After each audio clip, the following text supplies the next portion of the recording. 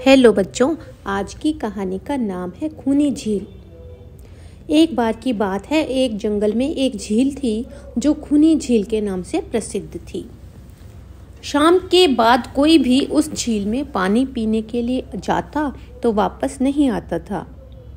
एक दिन चुन्नो हिरण उस जंगल में रहने के लिए आया। एक बार की बात है, ऐसा हुआ कि उसकी मुलाकात जंगल में जग्गू बंदर से हुई।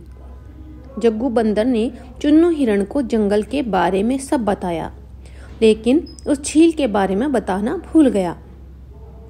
जग्गू बंदर ने दूसरे दिन चुन्नू हिरण को जंगल के सभी जानवरों से मिलाया। जंगल में चुन्नू हिरण का सबसे अच्छा दोस्त एक चीकू खरगोश बन गया।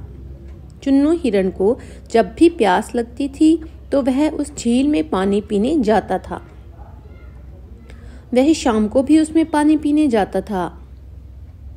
एक शाम को वह उस झील में पानी पीने गया तो उसमें बड़ी तेज़ी से अपनी ओर आता हुआ मगरमच्छ देखा, जिसे देखकर वह बड़ी तेज़ी से जंगल की तरफ़ भागने लगा। रास्ते में उसको जग्गू बंदर मिल गया। जग्गू ने चुन्नू हिरण से इतनी तेज भागने का कारण पूछा। चुन्नू हिरण ने उसको सारी बात बताई। जग्गू बंदर ने कहा कि मैं तुमको बताना भूल गया था कि वह एक खूनी झील है, जिससे जो भी शाम के बाद जाता है, वह वापस नहीं आता है। लेकिन उस झील में मगरमच्छ क्या कर रहा है, उसे तो हमने कभी नहीं देखा। इसका मतलब वह मगरमच्छ ही सभी जानवरों को खाता है, जो भी शाम के बाद उस झील में पानी पीने जाता है। अगले दिन जग्गू बंदर के सभी जानवरों को ले जाकर के झील में वो सब साथ को लेकर के गया और मगरमच्छ सभी जानवरों को आता देखकर छुप गया। लेकिन मगरमच्छ की पीठ अभी भी पानी के ऊपर दिखाई दे रही थी।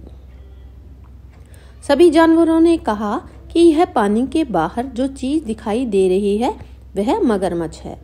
यह सुनकर मगरमच्छ कुछ नहीं बोला। चीकू खरगोश ने दिमाग लगाया और बोला नहीं, यह तो पत्थर है। लेकिन हम तभी मानेंगे जब यह खुद बताएगा। यह सुनकर मगरमच्छ बोला कि मैं एक पत्थर हूँ। इससे सभी जानवरों को पता लग गया कि यह एक मगरमच्छ है।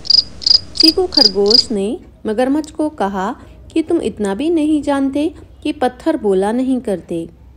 इसके बाद सभी जानवरों ने मिलकर उस मगरमच्छ को उस झील से भगा दिया और खुशी खुशी रहने लगे। आज की इस कहानी से हमें क्या शिक्षा मिली?